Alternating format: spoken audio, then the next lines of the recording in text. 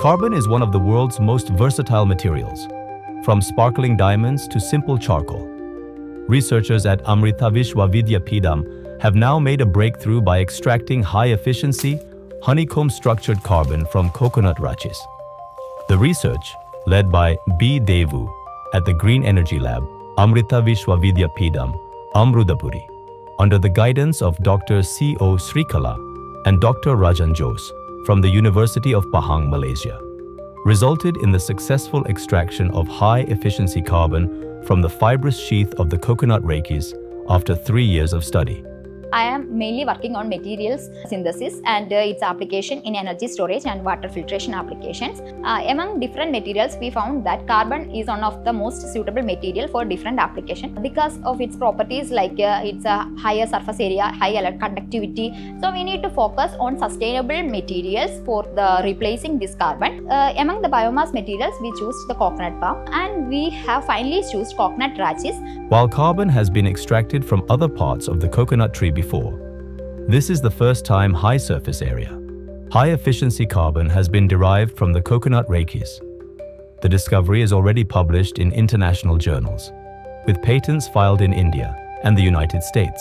We synthesized honeycomb-like structure carbon having an area of 1630 square meter per gram.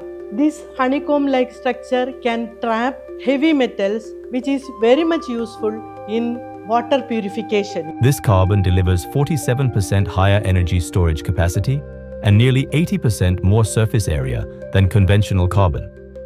Its honeycomb structure makes it highly efficient for applications like water purification, batteries, and optoelectronic devices, removing up to 96% of toxic substances such as cadmium and lead. The Green Energy Lab at Amrita Vishwa Vidyapeetham, Amritapuri campus in collaboration with the University of Pahang Al Sultan Abdullah, developed high-performance BCT carbon from coconut rachis charcoal. Potassium hydroxide treatment and heating enhanced its energy storage capacity and surface area, making it one of the most efficient carbons to date amount of lignin content in this coconut rachis is very high when comparing with the other parts of coconut and uh, this will help in the production of a high carbon material we mainly got is its honeycomb like structure this structure is very unique which helps in the absorption of ions when comparing with the other surface morphologies researchers plan to scale up production with multinational collaborations this Amrita initiative turns agricultural waste into high-value carbon advancing sustainability, and supporting the state's carbon-neutral mission. This project reflects research that blends scientific progress with social impact. As Chancellor Satguru, Srimada Mrudananda Mayidevi says, research should not only expand knowledge, but also improve lives and help solve social problems. Guided by this vision, many more such innovations can be expected in the future.